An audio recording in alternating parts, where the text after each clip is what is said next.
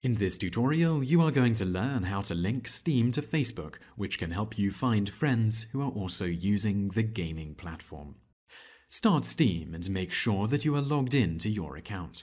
From the tabs at the top of the program, hover your mouse over the tab that contains the first part of your email address. In the menu that appears, click Profile. Scroll down the page, and on the right, you need to click on the blue Link Your Facebook Profile to Find Friends button. A window will expand asking you to enter your Facebook details. Do this and click Login. A dialog box will appear and you need to click OK. Click Cancel in the next option.